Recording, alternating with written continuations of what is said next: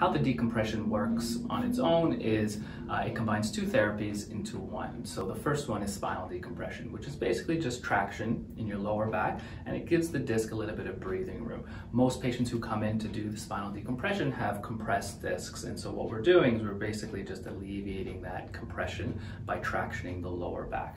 At the same time, you're getting the traction and the decompression. We're also doing class 4 laser on your lower back. The laser is really good at um, healing tissue, whether it's torn muscles, torn ligaments, discs, tight muscles. A lot of time patients will guard um, when they're getting the traction. So the laser really helps those muscles relax so that when we are stretching the muscles, it's a much more true stretch and easier for the patient to handle. When a patient comes in, we'll do a, an assessment with them, uh, find out what the issues are. If you have any MRIs, we always recommend bringing them in. Some loose clothing, um, you know, no dresses or skirts, things like that. We'll find out exactly what kind of conditions you have, and then we'll go into kind of a treatment plan, creating uh, the best scenario in terms of what I you need that we have at, at our resources in the clinic.